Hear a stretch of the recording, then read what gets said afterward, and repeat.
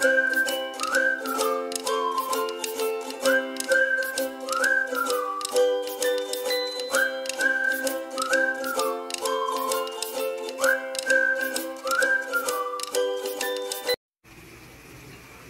mga kabuninay. Magandang araw sa ating lahat. Parang na-miss ko kumain ng menudo. Kaya ito ang lulutuin ko ngayon. Pero ibahin ko naman, ito this time hindi natin siya ulam sa kanin. Dahil may natira pa akong pita bread. Yun ang ipapalaman natin dito.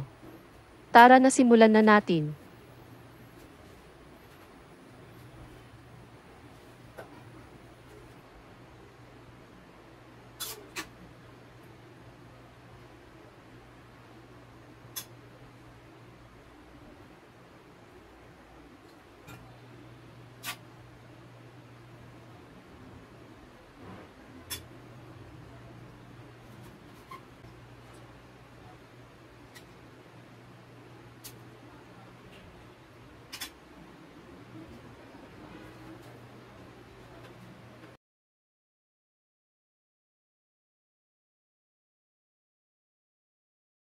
Ang una nating sangkap ay Meron tayong bawang at sibuyas.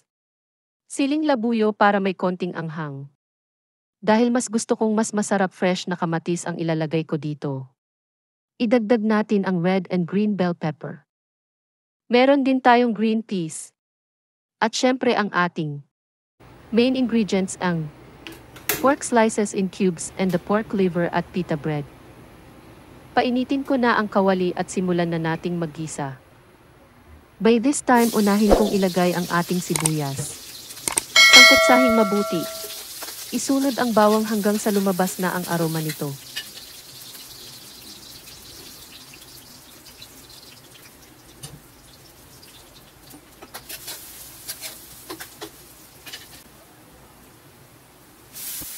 Ilagay ko na rin ang ating pork slices at sili.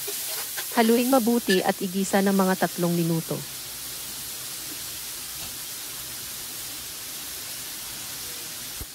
Lalagyan ko din ng black pepper. At timplahan ko din ng patis para mas lumasa ang karne.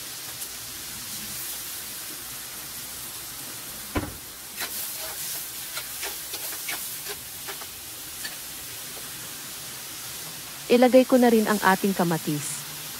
Na pampaganda ng kutis.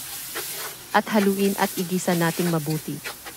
Hanggang sa maluto na ang kamatis. Grabe kung titignan mo hindi pa ako tapos magluto. Pero parang ang sarap na 'di ba? Ilalagay ko na rin ang ating patatas.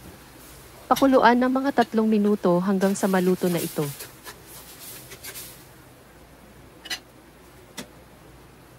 Maglagay ako ng konting broth yung pinagpakuluan ng ating karne kanina. Para hindi masunog at maubusan ng sarsa.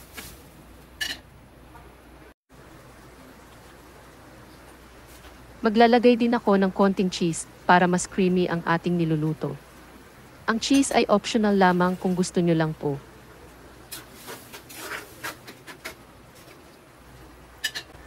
Maglalagay din ako ng konting cheese para mas creamy ang ating niluluto. Ang cheese ay optional lamang kung gusto nyo lang po.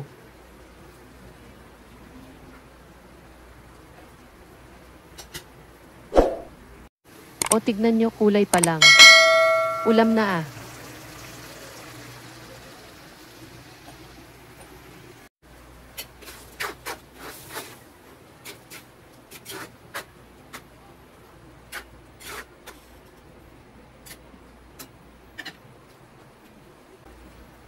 Haluin natin ulit at ilalagay ko na rin ang ating pork liver. Kaya pinahuli natin ito dahil ito ay madaling maluto at hindi kailangan na ma-overcook. Kapag kasi niluto natin ng husto ang atay ang resulta nagiging matigas na siya. Nilagyan ko rin ito ng onion leeks. Dagdag sarap at flavor sa aking niluluto.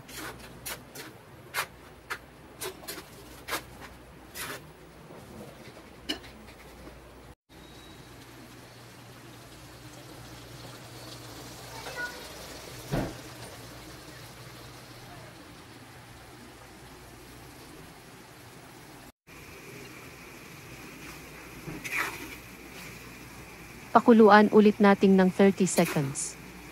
At kapag okay na hanguin muna natin ito. At simulan nating initin ang pita bread.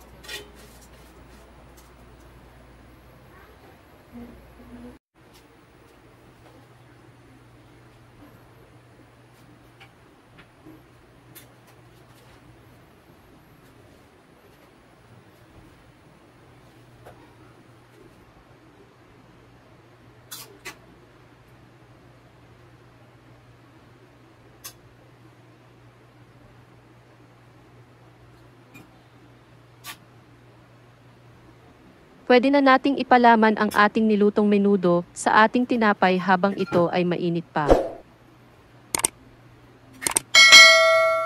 Dito na nagtatapos ang ating simpleng video. Sana po ay nagustuhan nyo at subukan nyo din gawin kapag may oras kayo. Sure ako matutuwa ang inyong pamilya o mga kaibigan din. Hanggang sa muli mga kabuninay. Paalam po.